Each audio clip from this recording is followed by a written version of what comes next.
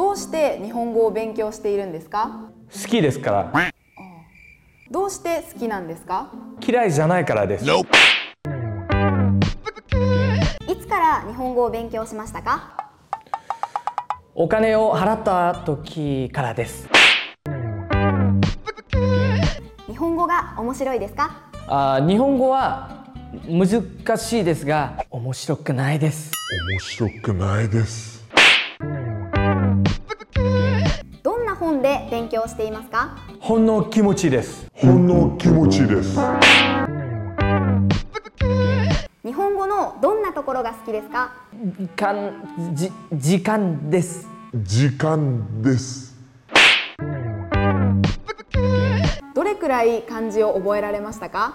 あ三ああ3000ですか。いえ三までです。一二三123どん漢字が書けますか？一二三。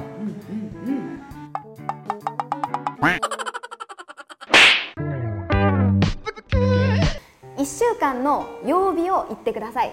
月日水木。金土日。イエーイ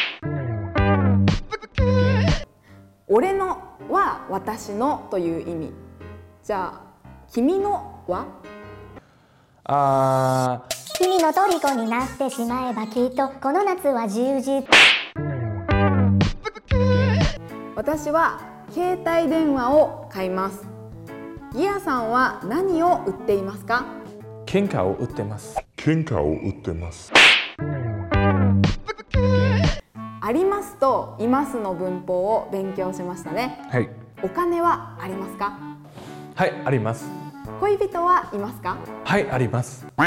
恋人は物ですか？はいものです。何々が欲しいの文法を勉強しましたね。何が欲しいですか？えー、3回目までの10万円が欲しいです3回目までの10万円が欲しいです。最も良いものを1234から選びなさい。5です。筆者の言いたいことは何ですかコロナはただの風邪ですコロナはただの風邪ですはこの後まず何をしなければなりませんか？